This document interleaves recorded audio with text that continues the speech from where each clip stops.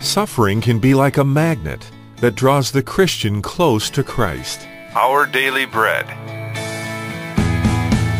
Today's encouragement from the Our Daily Bread devotional was written by David McCasland. David asked several friends what their most difficult, painful experience in life had been. Their answers included war, divorce, surgery, and the loss of a loved one. David's wife's reply was the birth of our first child.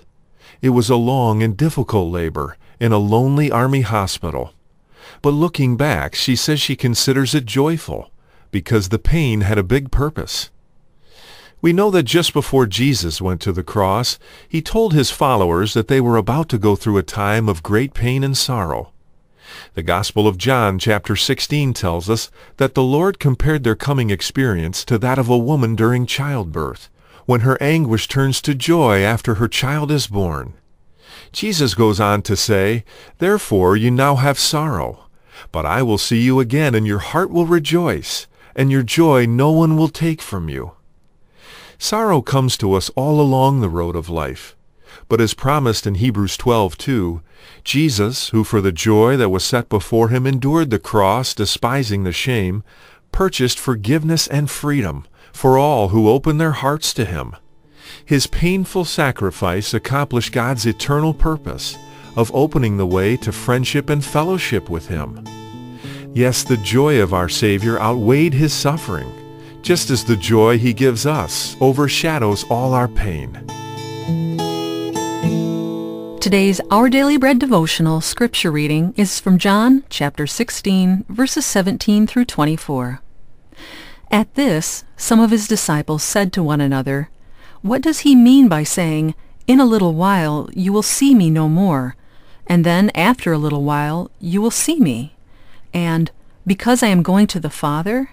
They kept asking, What does he mean by a little while? We don't understand what he is saying. Jesus saw that they wanted to ask him about this, so he said to them, Are you asking one another what I meant when I said, In a little while you will see me no more, and then after a little while you will see me? Very truly I tell you, you will weep and mourn while the world rejoices. You will grieve, but your grief will turn to joy. A woman giving birth to a child has pain because her time has come. But when her baby is born, she forgets the anguish because of her joy that a child is born into the world. So with you, now is your time of grief. But I will see you again, and you will rejoice, and no one will take away your joy. In that day you will no longer ask me anything. Very truly I tell you, my Father will give you whatever you ask in my name. Until now, you have not asked for anything in my name. Ask, and you will receive, and your joy will be complete. That's today's scripture reading from John chapter 16, verses 17 through 24. Before we close our time, let's pray together. Dear Father, your precious Son Jesus chose suffering for each of us. Thank you for his sacrifice on our behalf. Thank you that even our pain can be a tool in your hands to make us more like your Son. In Jesus' holy name we pray. Amen.